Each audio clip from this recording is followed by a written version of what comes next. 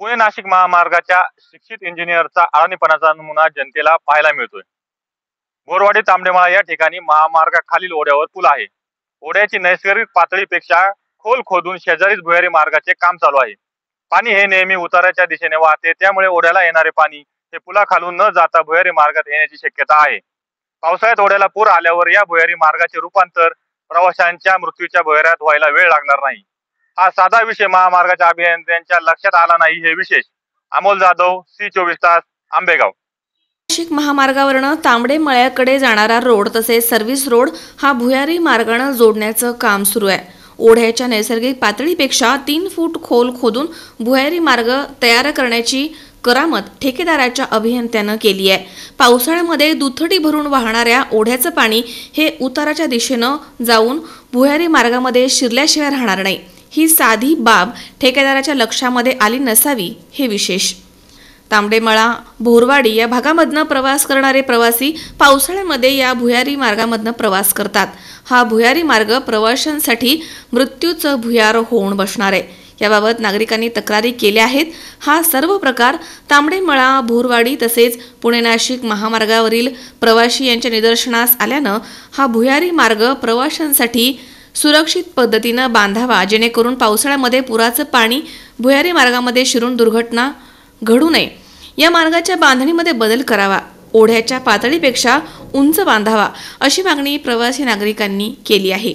दरम्यान हा भुयारी मार्ग महामार्गाच्या खाली असल्यामुळे प्रामुख्यानं शाळकरी मुलं याचा वापर जास्त करणार आहेत कारण लहान मुलांना महामार्ग ओलांडणं घातक आणि अडचणीचं ठरू शकतं.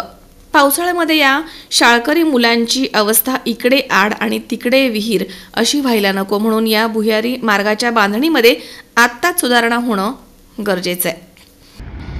आत्ताच उन्हाळ्यामध्ये ओढ्याला जे पाणी आहे ते ते पाणी ओढ्याचं कमी होऊन आज नवीन बांधण्यात आलेल्या चालू असलेल्या भुयारी मार्गाच्या दिशेने वाहत असून पाणी आपणास दिसत आहे. तर पावसाळ्यात तांबडेमळ्याच्या दिशेने येणारे पाणी पुलाखालून न जाता भुयारी मार्गातून जाण्याची शक्यता आहे.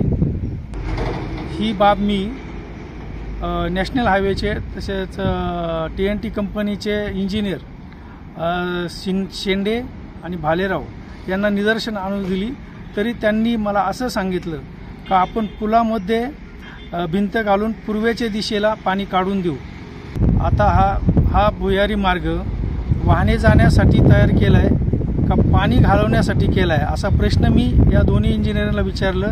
तर त्यावरती त्यांनी जोरात हसले आणि काम बंद करून इथून निघून गेले. अमोल जाधव सी चोवीस तास आंबेगाव.